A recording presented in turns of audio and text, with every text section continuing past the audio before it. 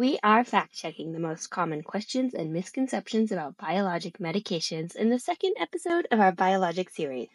This podcast is made in partnership with the Allergy and Asthma Network, and we want to thank Sanofi Regeneron for sponsoring today's episode. While they support the show, all opinions are our own, and sponsorship does not influence our content or editorial decisions. Any mentions of brands is for informational purposes and not an endorsement. Now let's get fact checking. You're listening to The Itch, a podcast exploring all things allergy, asthma, and immunology. Today, we have a very special guest, Dr. Jamie Rutland. He is a good friend and an amazing pulmonologist. We are going to be talking about biologics and myths around biologics. So let's just get started. Jamie, can you introduce yourself real quick? Yeah.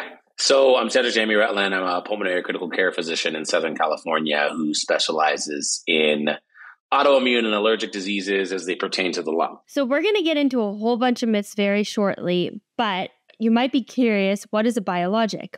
Well, we have covered that with Dr. Berger. So if you want to know your 101 biologics, go check out our episode with Dr. Berger and then come back here and bust some myths with us. So, Dr. Rutland, welcome. The first one is biologics, we hear so much positive stuff about it. And the question is are biologics secure? So, are biologics secure? That's a great question. The way that I would look at this is I would say, no, they're not a cure, right? whatever disease that you have, if you have asthma, if you have eosinophilic granulomatosis with polyangiitis, whatever you're using your biologic for, you still actually have that condition. What the biologic is actually doing is it's inhibiting one of the inflammatory mediators that leads to inflammation, right? Or that leads to the pathophysiology that you're demonstrating. So essentially a biologic is very therapeutic and it helps you and it can calm down the inflammatory process and enough for you to feel significantly better, but it's not a cure. Biologics are just like traditional medications and they work in the same way. Biologics aren't just like traditional medications. And by that, I mean, they're not a traditional medicine that you take by mouth and you swallow the pill. They are medications that are designed to specifically inhibit a certain inflammatory mediator that's released from certain cells or designed to inhibit a certain cell receptor. So, traditional medications, and I think this is what my good friend means traditional medications generally act. They are medications that act at multiple different receptors and affect multiple different things. Whereas precision medications like biologics specifically target one receptor or one cytokine and inhibit that downstream of events. Now, it's important for us to understand where is that receptor located on which cells? How is that cytokine released? What is it going to bind to? In other words, where is the receptor located? So we can understand the downstream of events that will not be taking place. But in that sense, biologics are precise, traditional medications are imprecise. That's probably as simple as it gets.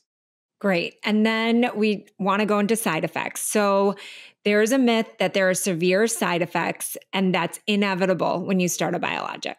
You know, that's another great question. I think that when you look at biologic therapies, it kind of depends on what the biologic is inhibiting to truly understand the range of adverse effects that can take place. Severe side effects of biologic therapies exist, but it's extremely and exceedingly rare. Like I have, I personally have never seen anybody have anaphylaxis from any of the biologics that I have prescribed for a multitude of allergic conditions biologics will eventually become ineffective if used long term. So that that doesn't really take place. There is a certain percentage of individuals who do develop antibodies to the biologic. It's somewhere in the range of 2 to 4%. So it's very very rare for this to take place, but generally speaking, no. Over the course of the long haul, biologics aren't more ineffective as you continue to use them. Great. And another myth we have is that once you start a biologic, you have to stay on it for the rest of your life. so, this is actually a myth that I probably agree with. And the reason that I agree with this myth is because if you continue to live in the same environment, in the same area of the country, per se, or same area of the world, whatever the antigen is that's activating your inflammatory response as it pertains to your upper airway or your lower airway or your GI tract, that antigen still remains. And so I think that in that sense, yeah, you need to remain on that biologic therapy sort of indefinitely because you're still being exposed. The only time I ever remove a biologic therapy is when a patient moves to another part of the world. If a patient moves to another part of the world, I'll give them a shot at not being on the biologic therapy. So if a patient were to move from, say, New York, where Payel lives, to Southern California, Orange County, where I live, if the patient wanted to be off of their biologic, I would let them have a shot and see if the environment is going to stimulate the same inflammatory response. If it doesn't, they stay off it. If it does, then we're going to put them right back on that therapy. So, another myth biologics are only an option when all other treatments have failed. Yeah, no, that, that's not the case. So, biologics are an option when treatments are continuing to work, but you need a little bit more of an anti-inflammatory effect for the patient to have better symptoms for to get rid of some of those symptoms. So when you look at biologic therapies in general, biologics are in conjunction with a patient's standard of care. So a patient will be on their standard of care therapy. They're still demonstrating symptoms. They're still presenting to the hospital, to the ER, to the urgent care, to the clinic with symptoms. And then you add on a biologic therapy to further reduce that inflammatory response so that patients can feel even better. And this kind of goes with this other myth that you can stop taking your usual medications. Yeah. So, by that same rationale, the indication for a biologic is patient who's on standard of care therapy, and then you are adding on a biologic in addition to their current therapy. So, in other words, you need to stay on your therapy. With that being said, I mean, we all have patients some patients will stop their traditional their standard of care and they shouldn't. And I never ever endorse that and say you should do that. I always say you need to stay on your standard of care. Patients that do stop their standard of care, some of the payers, the insurance companies that pay for their medications, they will find out that they've stopped because they're not picking up their inhaler. And the pharmacy will tell the payer, and the payer will say, We're not paying for this biologic anymore because it's not indicated. And technically speaking, they're right because it's add on therapy, meaning you need to stay on your standard of care. If you have more than one health issue, you can't use biologics. That's actually very false. So if you have more than one health issue, say, for example, there are patients that have atopic dermatitis, eczema, and they have asthma. Knowing that, your biologic may actually be able to treat both atopic dermatitis and asthma. And so, in that sense, the patient's going to do really, really, really well. And these are the things that we see. So just because you have more than one health issue doesn't mean that you're not a candidate for biologic. In fact, it could be an indication for biologic. Biologics are only for adults.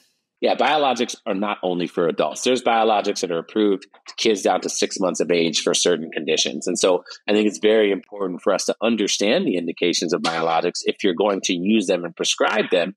And even more than that, it's important for us to understand the range and the different pathophysiologies that biologics can be used for. Biologics can cause cancer, particularly lymphoma. Yeah.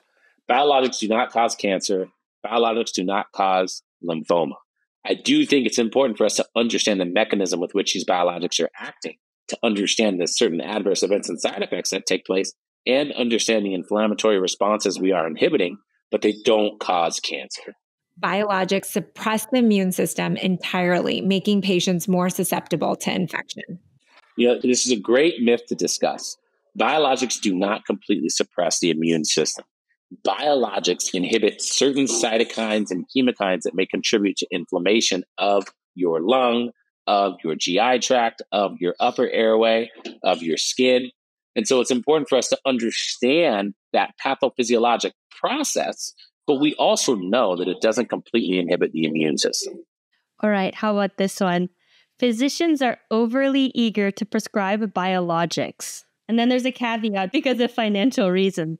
Physicians are not overly eager to prescribe biologics because of financial reasons. We don't prescribe them because we get paid extra uh, when we prescribe them. We prescribe them because the patient is suffering. And when the patient is suffering and going through something that we can relate to, we really, really, really want to help them. In fact, I would say that biologics are underprescribed. There are a lot of patients out there that are suffering that aren't getting the appropriate therapies, including biologic. I can't tell you how many times I get a second, third, fourth opinion on a patient who's just been suffering. And not only are they not on standard of care, but if they are on standard of care, they haven't even been considered to be prescribed biologic because of either lack of knowledge or lack of know how within that particular community to get the biologic approved. And I'd like to take it one step further that a lot of physicians are not prescribing because it also is very challenging to get insurance companies to approve these biologics. So, in fact, it takes multiple office staff and a lot of hard work to get patients actually on these medications. And so, oftentimes, they're not prescribed because a physician may not feel comfortable even being able to get it approved. Right. Okay, so note to patients they're not getting any money, they just want you to get better. exactly. How about this one? So, I'm five days into Dupixent and uh, I'm just like observing myself like crazy. And this is a myth that we came across is that biologics work immediately. You know, biologics don't work immediately, right? It, it, when you think about the inflammatory process that takes place secondary to an allergic disease, where you have multiple cytokines that are already being released constantly, it takes a few days for that biologic to have its impact. And so overall, when you're looking at the impact of a biologic, there are biologics that work within, say, two weeks. Like if you look at a certain biologic, and I don't know if I can say the product or not, but if you look at dupilumab, which is a biologic that inhibits the interleukin 4 receptor, when you look at the actual data, if you look at the FEV1, which is the amount of air you breathe out in the first second, that FEV1 will improve within two weeks by 70% in most patients. So that's something that I think is very positive, and it also helps me out because I can look at my patient and say, listen, if this medication is going to work, you're probably going to know within about two weeks from a breathing standpoint. Biologics are still in the experimental stage and pose high risks. Biologics are not in the experimental stage. We already went through the clinical trials. That was the experimental stage. So they don't really pose high risks. Um, there are risks associated with anything. There are risks that are involved. When we talk about the adverse events, we talk about the side effects that can take place, but the risks aren't high. Otherwise, it wouldn't have been approved in the first place. Next myth biologics must be administered in a hospital setting. Biologics do not need to be administered in the hospital setting. Biologics can be administered with proper training at home, in your office, wherever you are, because they are completely safe and effective therapies for individuals with certain allergic conditions. And I can just say from experience that I did my first dose at the doctor because they wanted to show me how it works. And now I can do it at home and it seems really, really easy actually. The next myth we have is that biologics are interchangeable. Okay. So this is a myth that I really, really like to speak on. Biologics are not interchangeable. We have to understand the pathophysiology of our patient's condition to be able to select an appropriate therapy for our patient. Example, if a patient produces a lot of mucus, that means that their goblet cell is likely being stimulated, right? So if you look at the immunology of this, the goblet cell is stimulated by interleukin 13. So what you want to do is you want to inhibit interleukin 13 and interleukin 4 because it needs interleukin 4 to be completely stimulated. And that's why you would select dupilumab in that sense because your patient's producing a lot of mucus, you know that interleukin 4 and 13 are up. If you measure a FeNO in a patient, and I'm sure you guys have discussed what FeNO is on this podcast, but if you measure a FeNO in a patient and your FeNO is elevated, say greater than 20 to 25 parts per billion, FeNO is heavily associated with interleukin 13. So the higher the FeNO, the higher the interleukin 13 activity. So again, you want to select a biologic that's going to inhibit interleukin 13. So it's important for us to understand that although the disease states between biologics may be similar, somebody may say, oh, it's approved for eosinophilic asthma. It doesn't necessarily mean that you could just pick whatever one you want. We have to still understand the patient, what they're going through to truly understand how we can help them best.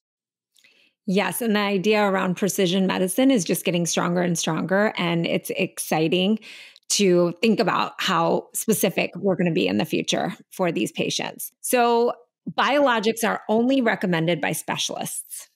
Great. So, what payers will tell you is that the only people that can prescribe biologics are specialists like an allergist or a pulmonologist. What I will tell you is anyone that is ready and willing to learn the material, to understand the allergic disease at stake, to understand how to apply the immunology and select appropriate biologics, they can write for it.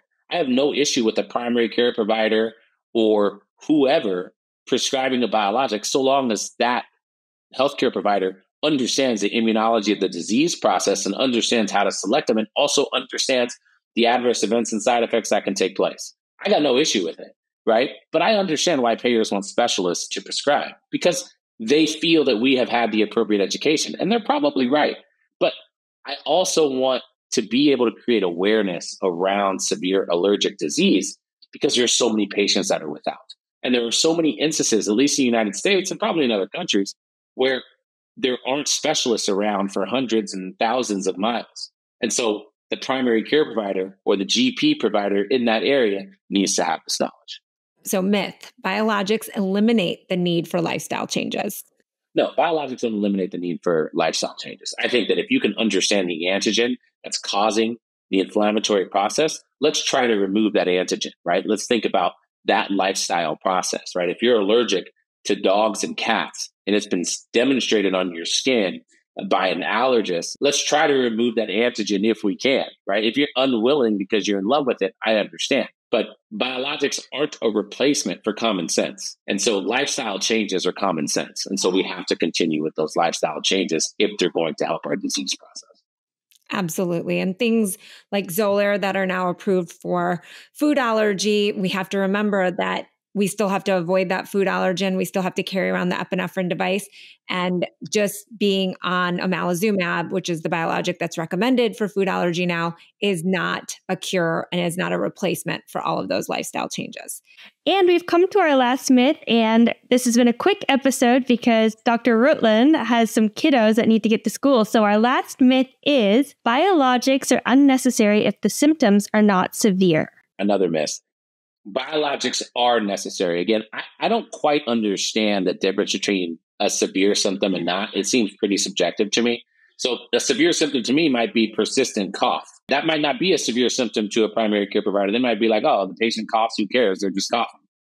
But for me, that's a severe symptom. So the way that I look at it is like this. If a patient continues to present to me with, let's say, rash and cough, right? And wheezing. Or if I'm listening to the patient and the patient may not be complaining, but every time I listen to their lung, they're wheezing.